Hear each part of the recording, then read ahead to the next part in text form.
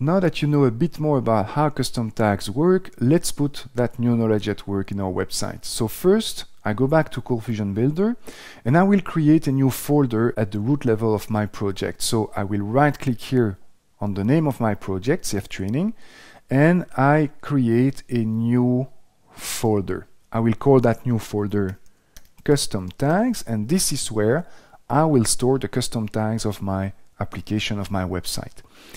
I will right click on that new folder to create a new ColdFusion page in the folder and I will call that page front.cfm. That is going to be of course the first custom tag of my application. So the front.cfm is inside of the custom tags folder and of course it is completely empty. Now I will return to my includes folder and in my includes folder I will open my header.cfm file and I will copy paste the whole code. So Command A on the Mac or Control A on Windows to select the whole code of header.cfm and then I copy and paste it in front.cfm. Now we'll change the comment here at the end to end of header, for example. Now we'll do the very same thing with footer.cfm. So in the includes folder, I open footer.cfm and once again I select all the code here and I copy paste it at the end of the front.cfm page. I will change that command begin of footer. There we go. Now the front.cfm here is going to be a custom tag. So when I will call it, I will have the this tag scope and I can check with a cfif if if I am processing the opening or the closing tag. So I will use a cfif here to check if this tag dot execution mode is equal to start. In other words, if I'm processing the opening tag. And if I am processing the opening tag, then I need to output what used to be the header.cfm. If I'm processing the closing tag, then I use a cfelse here, then I need to output what used to be the footer, and of course don't forget to close the cfif here at the end of the custom tag. Alright, now two little things to change here. First of all, I have changed the folder from which I call the login form.cfm. So here I need to change that cf include because from the custom tags folder I first need to go up one level to go back to the root level of my project then I can go to includes then I can find login form. So here I need to go up one level then I go in the includes folder then I find the login form.cfm. So that is one thing. The second thing that I will change in that file is the title. Instead of hard coding a title, I will use a cf output block like that, that I open and close, and I will output the attributes dot title variable. So this is going to be an attribute that I will pass to the custom tag when I will call it. Now I will make this attribute optional using a cf param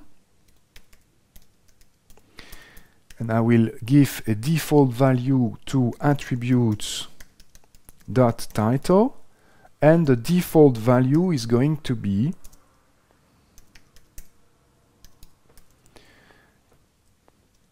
HD Street Band welcome. So this is the default value of that title attribute. Now let's close those files here and I will return to my home page to index.cfm. Now in this case I want to call the custom tag from index.cfm but the calling page which is index and the custom tag which is front are not in the same folder anymore. So I cannot use that CF syntax that I have used in the previous video. Instead, I will use here the CF module tag of ColdFusion and I will specify a template and the template that I want to use that is the custom tag that I want to use you see that I have select files folder here so I will just hit the enter key and I will select inside of my project inside of my custom tags the front.cfm and you see that now ColdFusion Builder helps me fill that value. So template equal custom tags slash front.cfm, you show the way to that custom tag. Of course, I will close my CF module instead of including the footer.cfm. So here I will write a end CF module. There we go. And here my page is now ready. So if I run my home page in the browser, you see that it works. And if you take a look at the title of the page here, it's called HD Street Band Welcome. That comes from the default value from the CF param. Now let's use that same custom tag in another page. So let's go back to agenda.cfm and I will use the same CF module. So I will copy paste it from index there we go. But this time I want to pass a title attribute and it will be HD street band.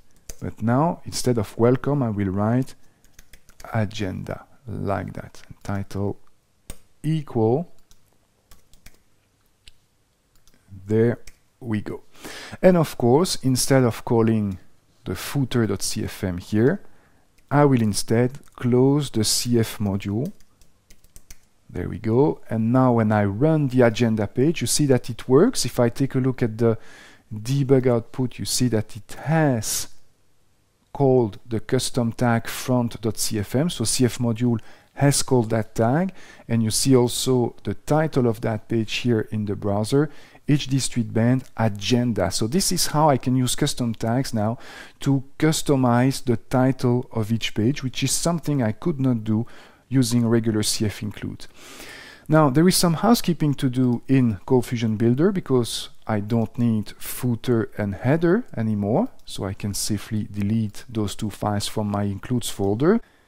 Before moving on to the next video, there is a small exercise that you can do on your own. The step-by-step -step instructions are located in the PDF file whose name is now on your screen. And during that exercise, you will simply call the custom tag from the other pages of the website and customize, of course, the title attribute each time you call the custom tag. Take your time to perform this exercise and get used to that new procedure and when you will be done we will meet in the next video to experiment with the next code reuse technique of ColdFusion.